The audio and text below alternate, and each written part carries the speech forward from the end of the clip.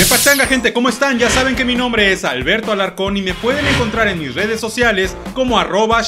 El día de hoy es martes, martes de freestyle.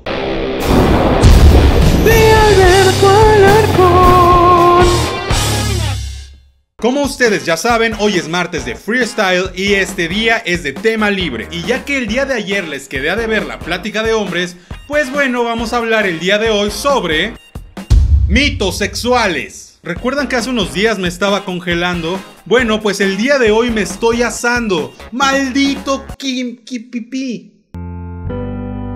¡Maldito cambio climático! Bueno, pues últimamente he escuchado a varias personas hablar sobre sexo y la verdad es que parece que no saben mucho sobre el tema. Más allá de la cantidad de ignorancia o de conocimiento, está el hecho de los mitos sexuales que todavía hoy en día la gente llega a creer. Y de verdad son cosas que me parecen ridículas. Y aún así la gente sigue creyéndolas. Pero bueno, les voy a decir unos cuantos mitos sexuales que la verdad son absurdos para algunos, pero muchos las pueden llegar a creer y quiero que esas mentiras ya se deshagan de una vez. Si te masturbas no te van a salir pelos en la mano, ni tampoco vas a quedar todo idiota, ni nada por el estilo. No produce infertilidad, ni tampoco disfunción eréctil, ni nada de eso. Mucho menos pérdida de... ¿De qué? Ah, ah, de memoria. No, no pierdes la memoria. La masturbación no modifica el tamaño de los genitales, ni tampoco su forma. Muchos creen que si se la jalan de un lado o de otro va a terminar así, y no es cierto. Cuando tengas tu primera vez, sí puedes quedar embarazada. Realmente eso me parece algo muy obvio, pero mucha gente cree que no. Cuando el hombre pierde la virginidad, no se rompe el frenillo del pene. Los hombres tenemos un frenillo en el pene que digamos que sostiene el prepucio. Y no, no se corta cuando pierdes tu virginidad. Si estás teniendo sexo oral, no puedes quedar embarazada. Claro, a menos que tengas la matriz, las trompas de falopio y todos tus órganos sexuales aquí en la garganta. El jugo de limón no es anticonceptivo. Utilizar más de dos condones a la vez no impide el embarazo ni tampoco las enfermedades de transmisión sexual. De hecho, lo más probable es que con la fricción de los dos condones se rompan y pues ahora sí termines embarazada o con una enfermedad de transmisión sexual. El tamaño del pene del hombre no tiene absolutamente nada que ver con el tamaño de la mano, ni con el tamaño de los pies, ni con el tamaño de tu estatura, ni nada por el estilo. El exceso de actividad sexual no agranda la vagina,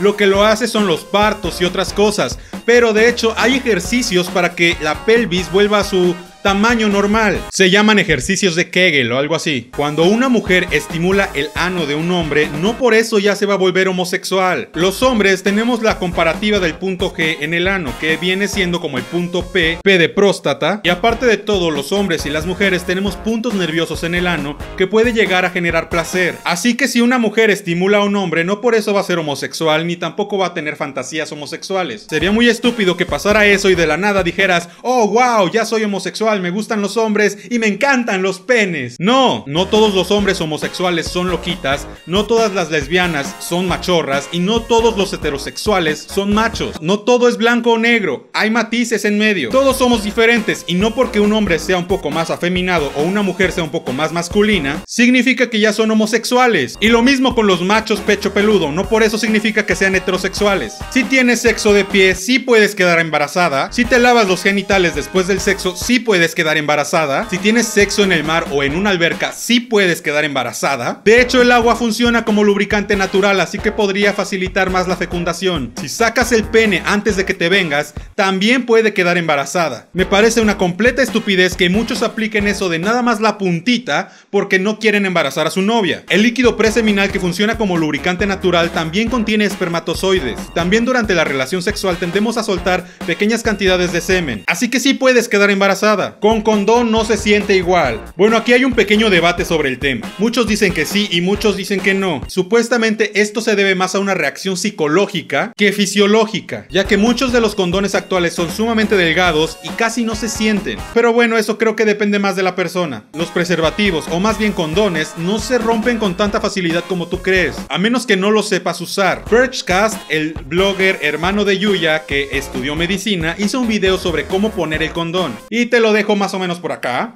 para que lo cheques. Pero básicamente tienes que tapar la puntita, darle unas vueltas, bajar el condón para que no entre aire y ya después puedes hacer todo lo que tú quieras. Recuerda que es muy importante que cuando abras el condón lo hagas con las manos, para eso tiene las sierritas en la en el empaque. Porque si lo haces con los dientes, lo más probable es que se rompa. También recuerda que los condones caducan. Y también recuerda no llevarlo en la cartera porque ahí se maltrata y viene siendo lo mismo que si lo abrieras con los dientes. Pero este video no es sobre condones. Y el coito anal obviamente tampoco produce embarazo. Ingerir semen no es dañino, incluso muchos dicen que hasta proteínas tiene. El sexo anal no es solamente para pervertidas o pervertidos. La vagina expulsa aire, sí, eso no es un mito. De hecho existen los pedos vaginales. Que no entiendo por qué rayos le pusieron ese horrible nombre. Pero realmente es el hombre el que mete el aire al momento de meter el pene y cuando lo saca, pues es cuando se expulsa el aire y suena como si fuera un pedo. Este tema se me ocurrió porque hace unos días salió un artículo sobre la masturbación y que era mala y que perjudicaba la mente. Y también salió otro artículo sobre cómo impedir la homosexualidad en los niños. Supuestamente si les pones suficiente cultura desde que son muy niños en el kinder,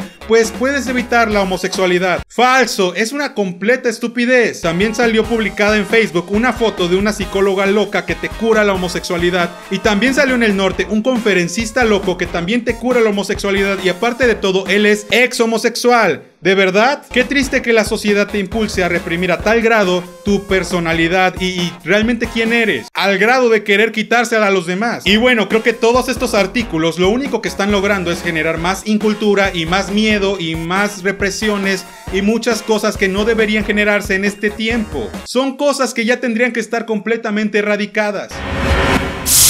Pero recuerda que esta es solamente mi opinión, seguramente la tuya es más correcta y quiero saberla. Ponla aquí abajo en los comentarios. Déjame saber si tú conoces algún otro mito sexual o algún otro artículo estúpido. Mi nombre es Alberto Alarcón, arroba Shaspid en Twitter. Recuerda visitar este canal todos los días porque subo video absolutamente todos los días. Recuerda visitar el canal principal Broster y no olvides suscribirte y pasarle este video a todos tus amigos para que se quiten esos mitos sexuales que son bastante absurdos. Yo te estaré viendo el día de mañana miércoles con un miércoles de reseña o reacción. Sí, ya. Si quieres suscríbete, si quieres suscríbete, si quieres suscríbete, ponlo en tu Facebook.